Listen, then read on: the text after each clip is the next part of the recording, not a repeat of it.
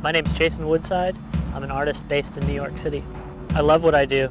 I love it so much that it, it, it really doesn't feel like work. It, it's my passion and, and my livelihood.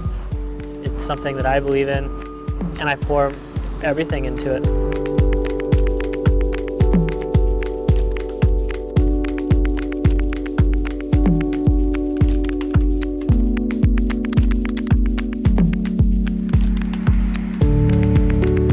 My name is Asia Anderson. I am the community manager for WeWork Berkeley.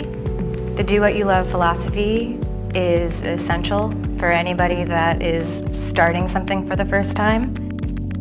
When you come inside and you're working in this space, you're here to do what you love.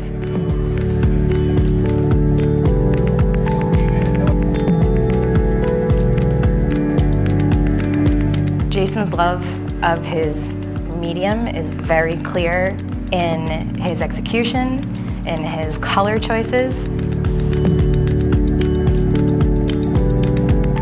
I think it's important to do what you love because you back it completely. You know, you, it's clear that you have passion because you're, you're putting in the efforts.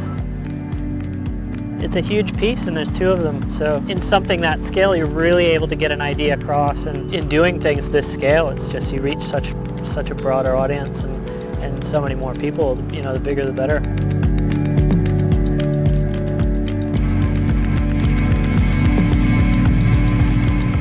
People are more connected with your work if you love the work that you're doing.